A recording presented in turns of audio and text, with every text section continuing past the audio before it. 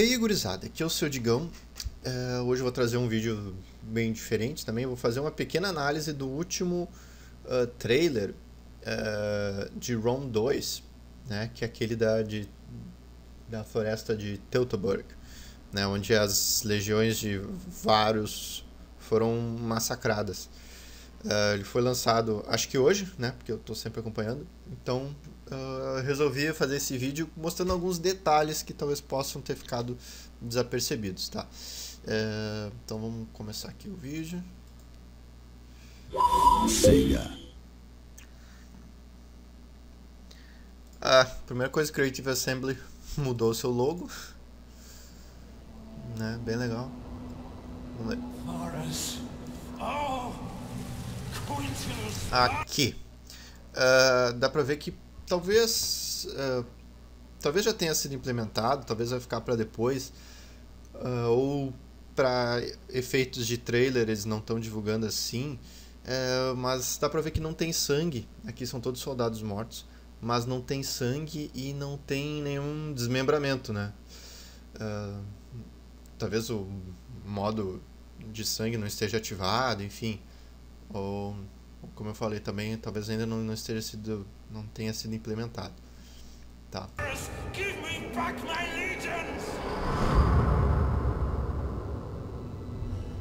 Arminius will betray Rome. You must turn back. Tá. Arminius. Acho legal que tem o capitão fica sempre tá meio tá sempre espiado, né? Não sei se isso foi, isso foi feito especialmente para para esse trailer por eles estarem viajando numa floresta.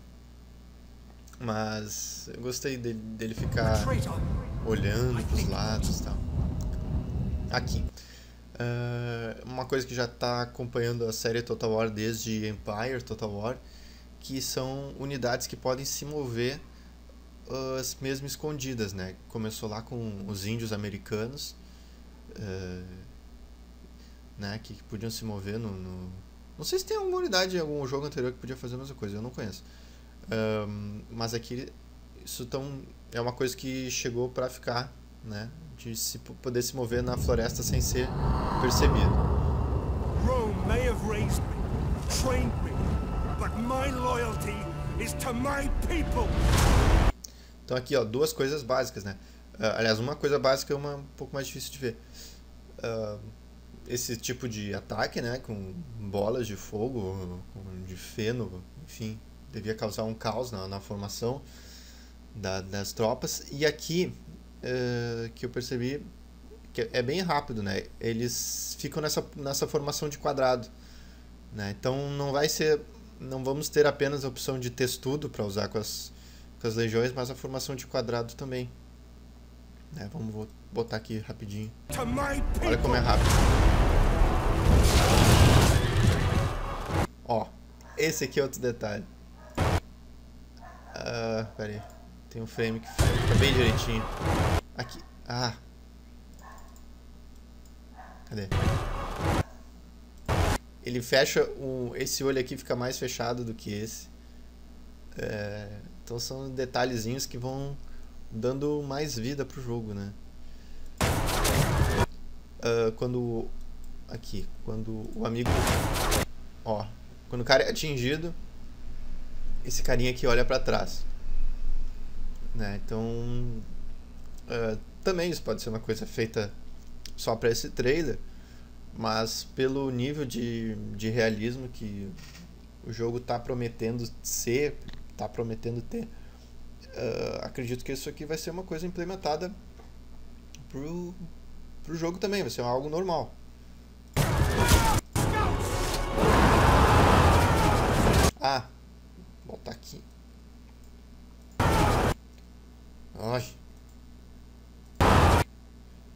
Aqui. Uh, percebam que cada cada unidade tem o seu símbolo. Né? Aqui no caso é o símbolo de uma mãozinha. Tá? E aqui é o símbolo da águia. Né? Eu só consegui identificar esses dois nesse trailer. Né? Uh, mas fica, fica a impressão de que cada uma vai ter um, um seu símbolo diferente. Seria legal se a gente pudesse customizar os nossos símbolos também, né? Vamos, vamos aguardar. Uh, bom, claro, tem algumas diferenças aqui de um soldado para outro, mudou um pouquinho o capacete. Uh, e prometeram também diferença na altura dos soldados.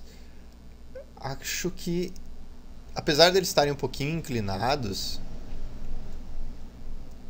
acho que dá para ver uma pequena diferença.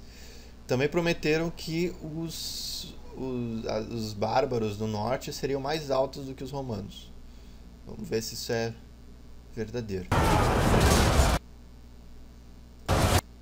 Deixa eu ver aqui, esse cara tá pulando, não dá pra ver. Gostei que dá pra ver a textura do escudo. Tá bem, bem bacana do lado de dentro.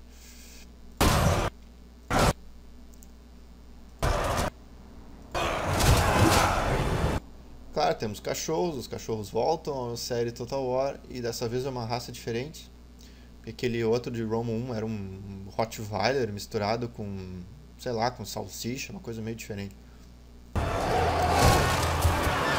Uh, aqui dá pra ver que os cavalos, eles não se atiram simplesmente para as lanças dos inimigos, né? É, eles dão uma paradinha. Então, talvez não... não uh, se tu for, for atacado por lanças, talvez tu não perca todos os teus cavalos de uma vez só, né? Talvez alguns possam, possam se proteger, assim, ficar com medo e tal.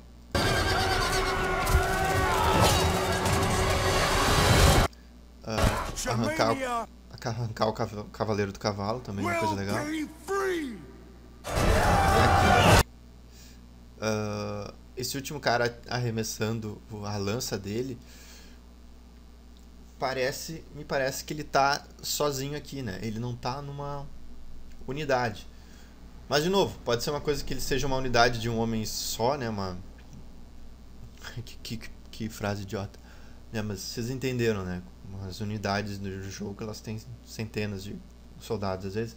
Mas pode ser uma unidade de um soldado só que está atirando uh, sozinho né mas pode ser também que os companheiros dele estejam engajados em luta e isso não impede ele de arremessar a, a lança né e mesmo a a curta distância como foi essa daqui Tá.